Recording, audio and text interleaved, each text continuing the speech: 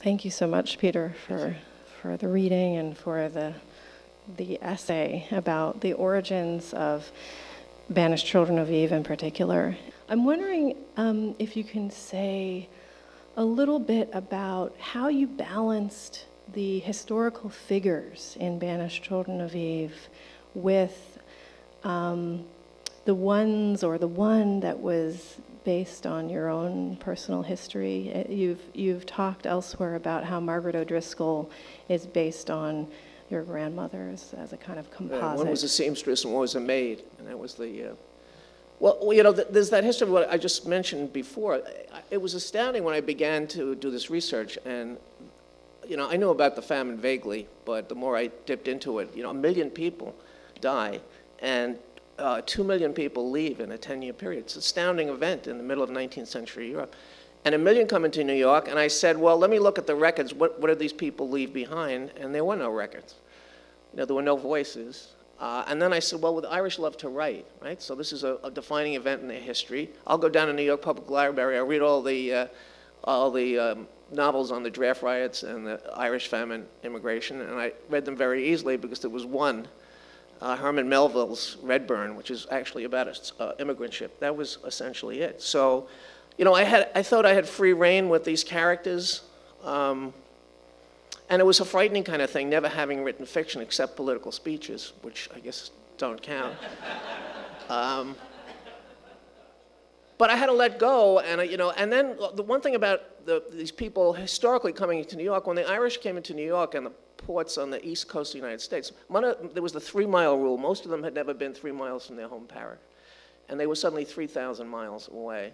And for the first time, they were in total contact with other cultures. They had to see themselves in different ways. And I said, I can't really write the story of the famine immigration unless I have African Americans and Anglo Americans. So I had to let go to try to write about African Americans. And I said, I can't write this experience. You can't write the famine experience without writing it about women the only immigration to the United States where there are more women than men is the Irish immigration. And I see Aoife Murray, who wrote a great book out here, Maid as Muse, about Emily Dickinson's maid. My uh, grandmother was a maid, my wife's grandmother, you know, and this female experience is so important. So had to bring all this in. And then I, I took these characters, historical characters. But what I find is, even the most exhaustive biographies just really touch people's lives. There's so much we don't know. You can write nine volumes about somebody and really not get to who they are and not know where they were on a certain day. So I had one thing in there. I had I, Stephen Foster becomes one of the, his music goes through the whole book. And I, I really, it was, it was Foster who led me to write a novel because I went down to where he committed suicide in the Bowery in 1864. America's first great songwriter.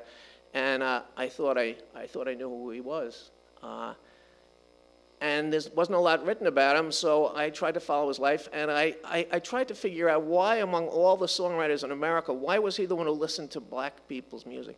In some ways, he parodied it, but, but in other ways, he reproduced it, and, but why would he listen? So people, all the great popular culture in America comes from the margins. It comes from, you know, Irish, Jews, Italians, and gays. So I thought to myself, Stephen Foster had a two-week marriage that he was gay. So you know, I did this, I take liberties with all these characters writing a mm-hmm. historical novel. And of course, I get letters from people uh, attacking me, and I always remind them it says novel on the front, you know? it means it's a lie.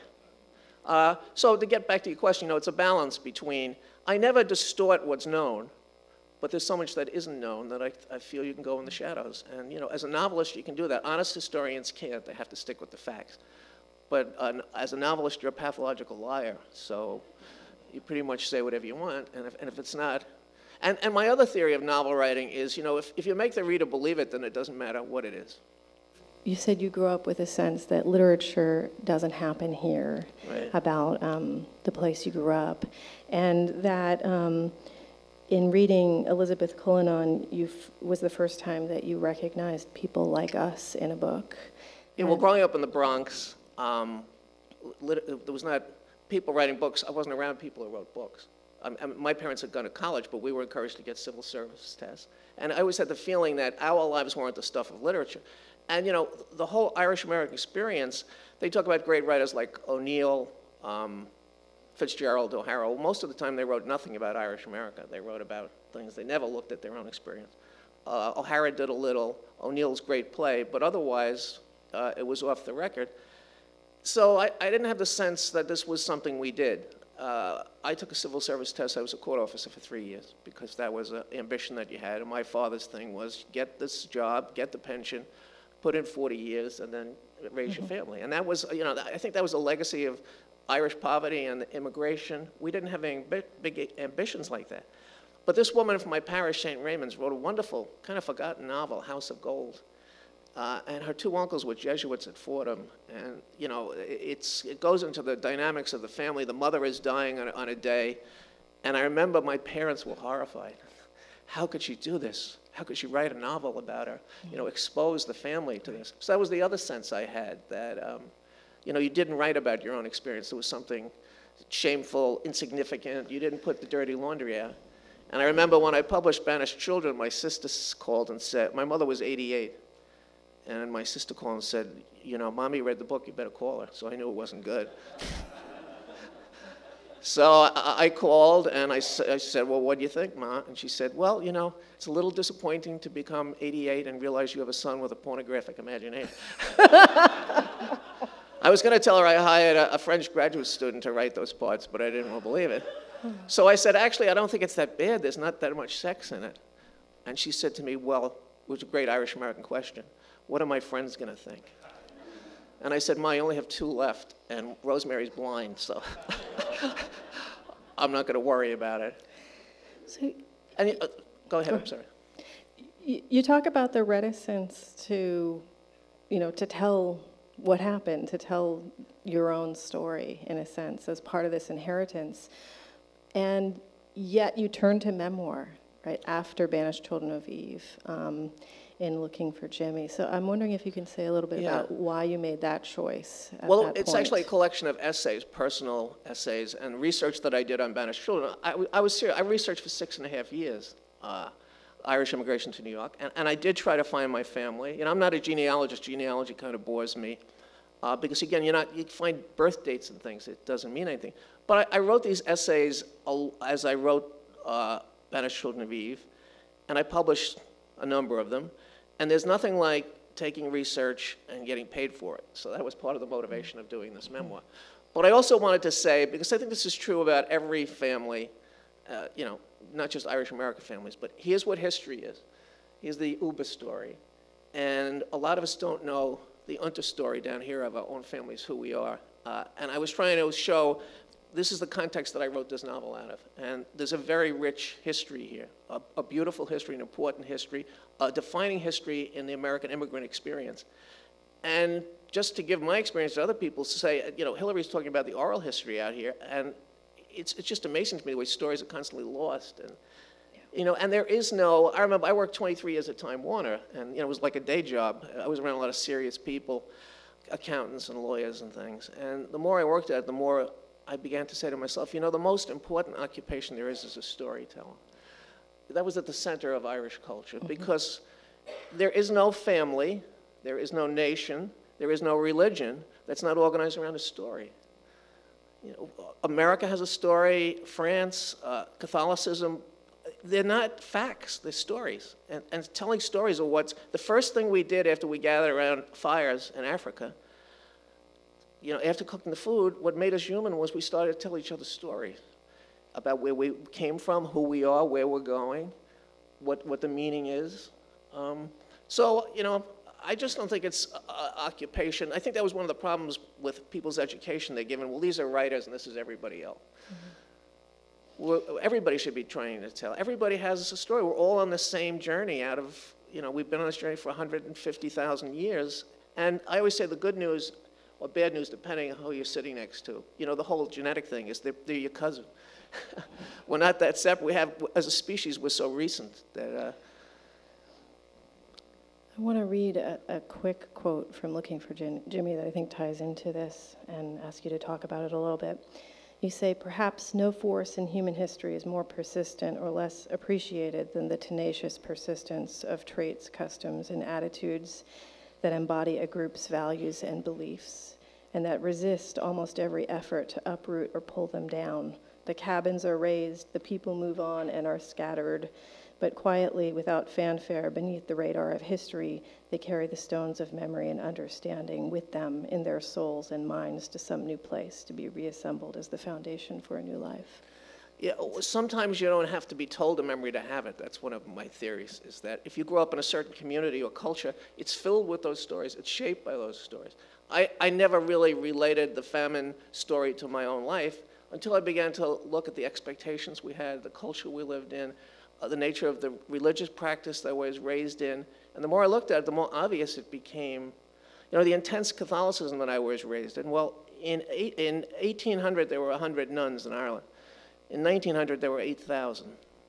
You know, as a result of this uh, demographic catastrophe, the country changed in its religious practice. And uh, as the culture died, the religion became more important. Uh, and it became the, the dividing line between the Irish identity, which was under such stress, and the English attempt to destroy this identity, uproot it. And it became the organizing principle, the only institution the Irish had, transatlantic institution. This immigration, the famine immigration, was chaotic. Irish rural society dissolved. You know, it fell apart. And the poorest pe people died or left. The British government really, in one of their blue papers, said the problem in Ireland, it's eight and a half million people, three and a half million barely live every year.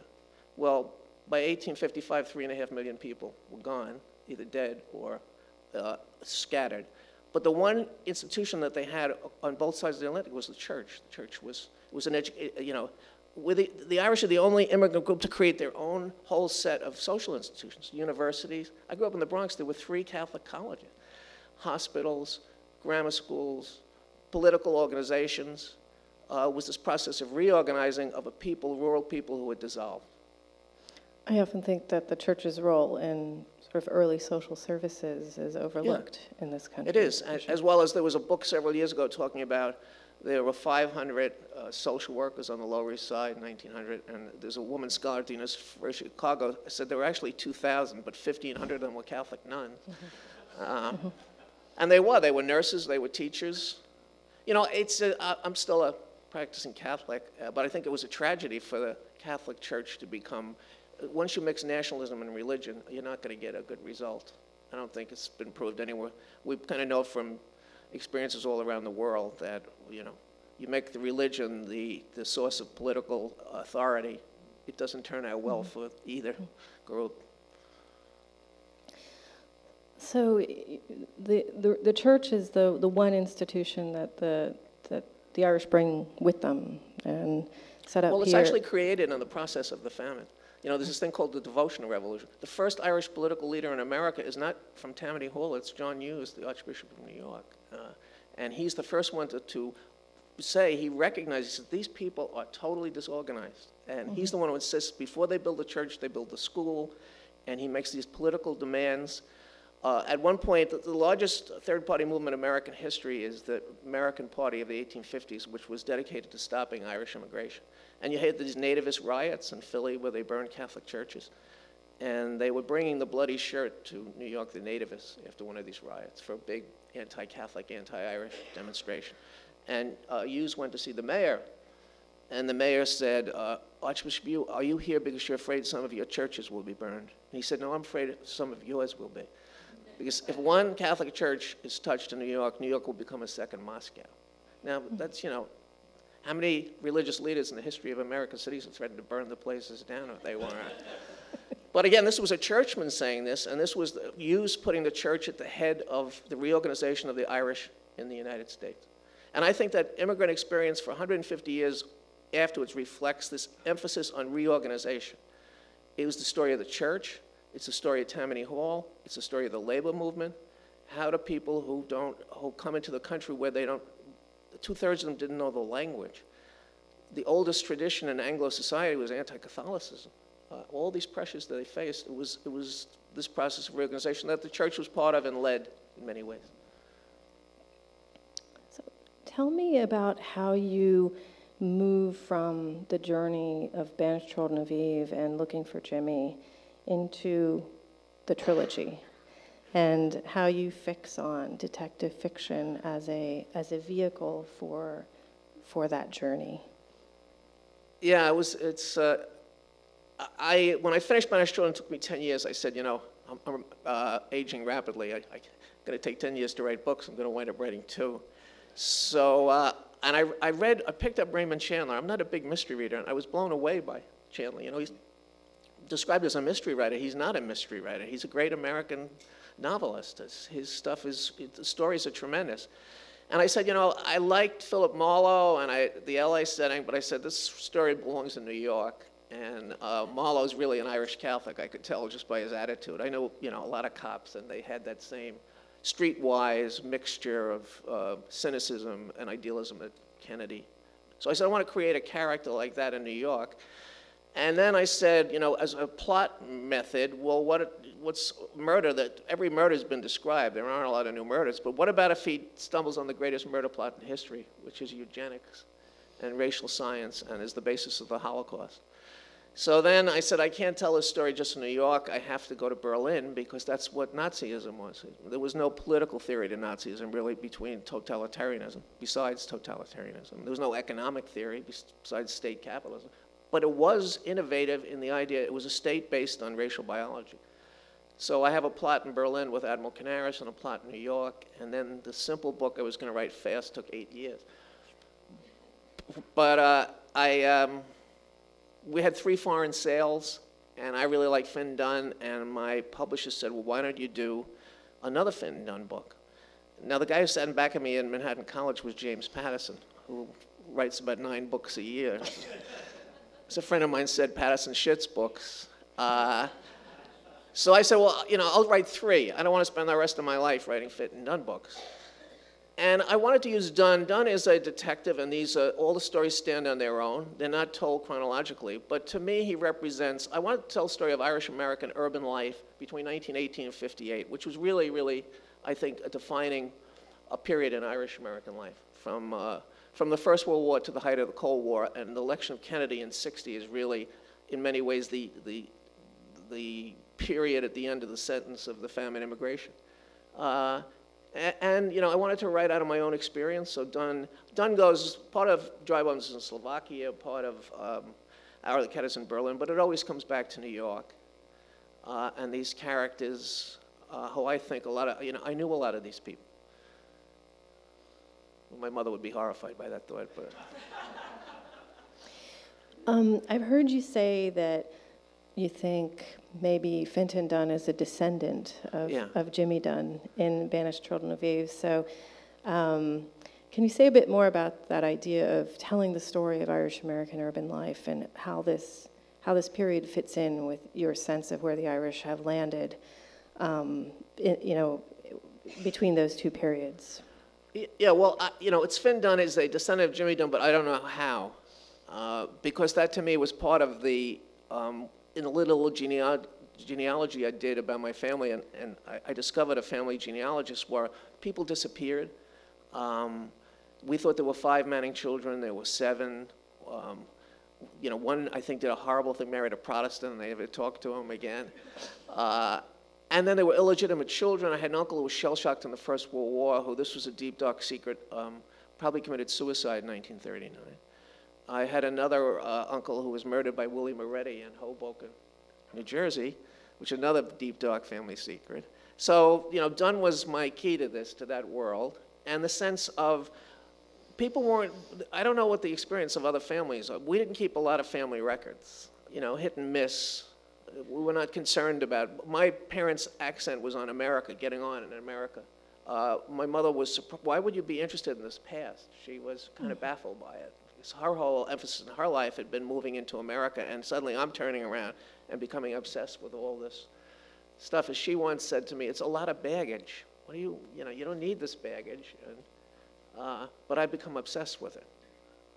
What is your sense of Irish American writing now um, in comparison to where you started your journey? Um, uh, where do you think we're going? Uh, if, if you, and, and if, how you think about Irish American writing as a category in, in general? Uh, yeah, it's, it's interesting because in my lifetime, I mean, I, in college we didn't, there was no such thing as Irish American literature. And now you have uh, the winner of the Pulitzer Prize William Kennedy, who has written this incredible series of novels about Albany, investigation of Irish life, just an amazing, uh, th- this stuff wasn't written before. And then the other great novelist is Alice McDermott, who, you know, she writes these exquisite novels about very prosaic Irish families in Brooklyn. So, in a way, I think it's the golden age of Irish American writing. That uh, I don't know, I have no idea how long it will last, but a lot of the energy that went to the church and other things, it's now um, looking into Irish American culture the way it's never been looked into before.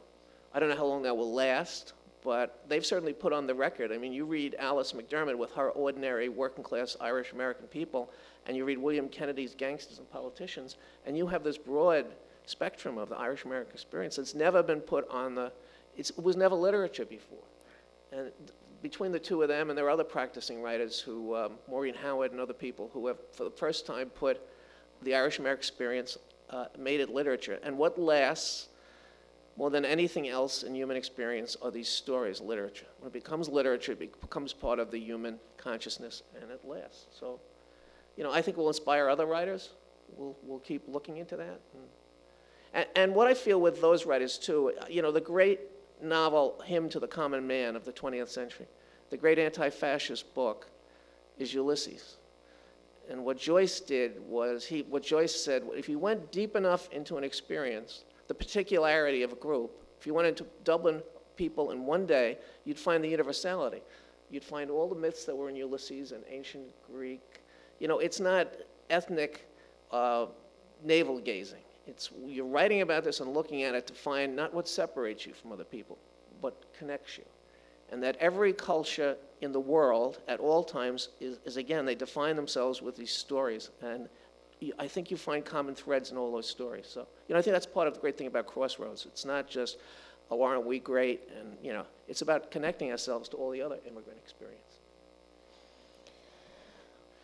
That's my two cents. Well, on that, on that note, I'm going to open it up to questions from the audience. Hillary has um, a microphone, so if you have a question, can you put up your hand and she'll find you. Hi, thank you, Mr. Dunn, for the very humanizing message you've woven into your own story. Um, I'm curious about um, your movement to Albany, if that was a long way for you to go, and when you researched that mid 19th century flood of immigrants, did you see anything in particular about the group that went beyond New York City, or that flooded through it, filtered through New York City? Uh, I didn't look much outside New York City, but I know, um, you know, the, the, the, Irish are the most rural people in Western Europe, in the first part of the 19th century, and then they're the most urbanized people in America at the end of the 19th century. Uh, so I think there were a lot of common experiences. I've met, you know, talked to people in different cities and gone to other cities, and there were this um, this cohesion that came. The churches, were, you know, you were Catholic education in Baltimore, Chicago, New York, or San Francisco, you were essentially getting the same. It was more standardized than public education was. Uh, and the religious practice uh, was the same everywhere. And in a lot of ways, the music was the same everywhere. Uh, the Irish had this cohesion, although they were spread uh, all around the, the country. That's, that's what I found. Well, I, I, I was uh, getting a um, PhD in, in, Irish history at Fordham, and this is 1979. I was facing permanent underemployment as an adjunct, and I wrote an article in America magazine that somebody gave to Governor Carey. And they asked me to write his Fordham Law School commencement speech. And I had never written a speech before. And if I knew then what I knew now, I probably wouldn't have tried. But uh, I did, and uh, they liked the speech. So I wound up, and then I stayed with Governor Cuomo. So I was six and a half years in Albany. And, you know, one of the great things of William Kennedy is that he makes Albany an interesting place. Well, um, after about two weeks, I exhausted all the cultural and uh, theatrical possibilities of Albany. So I began to read books. I stayed in my hotel room, and it, you know, it's about 40 below in Albany in the winter, so there's not a lot to do. So I just read voraciously at night, and uh, I read Thomas Carlyle's History of the French Revolution, which actually influenced the writing of Banished Children. That you could tell this epic story. I wanted.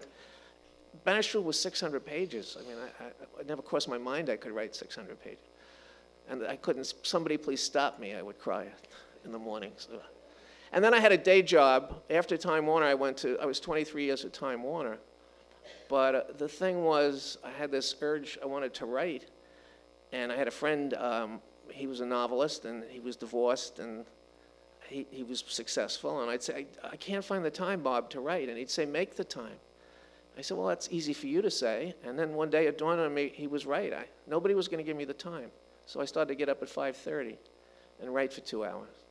And I did that for 17 years. And that became, you know, writing, I don't know how writing ever got a reputation as this romantic, Ernest Hemingway uh, fishing thing, because it's very lonely, it's very isolating, it's very frustrating, and it's, you have to commit yourself.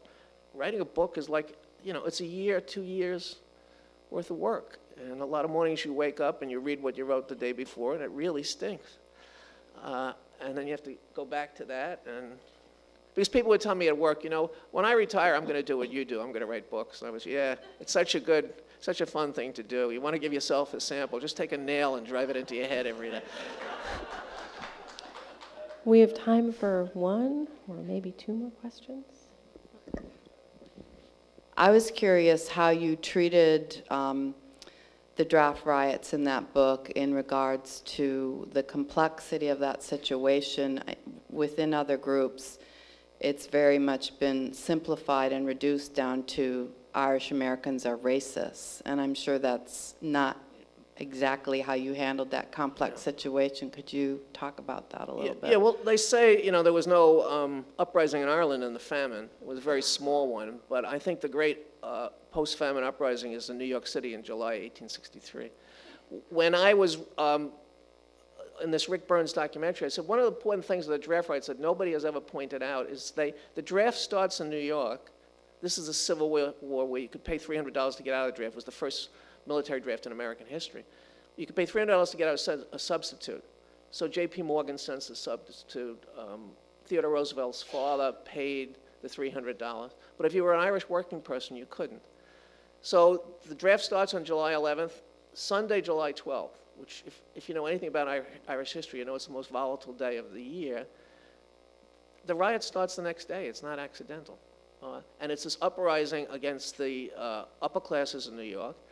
Uh, it's an insurrection. They bring the regiments back from Gettysburg to fight in the streets. Uh, and they have cannons in the streets. It really is an urban, it resembles the, the Paris Commune, and it's also a race riot.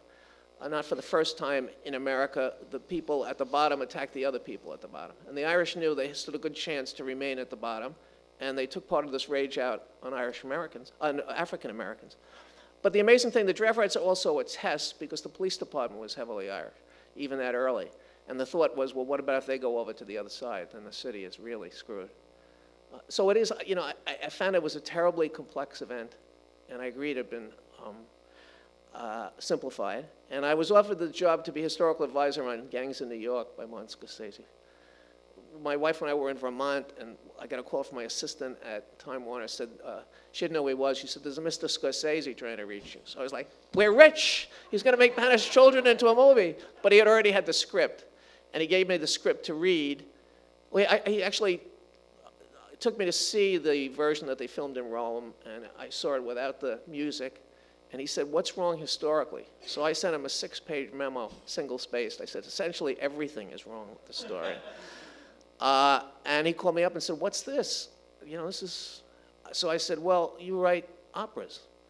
Scorsese's movies, they say he writes Catholic movies. They're not Catholic, they're Italian operas. You know, Raging Bull is a great American opera, but um, Goodfellas is a great American opera. I, th- I think th- the terrible thing about Gangs of New York is it's a bad movie, and he killed any chance that they'd make my book in a movie in my lifetime. So I'm really very resentful. To,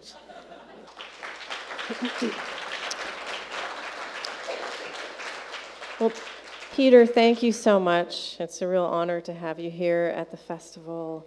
Um, and I want to make sure that everybody knows that Dry Bones is for sale in the back of the room. So please um, pick up a copy. Um, Peter will be signing books.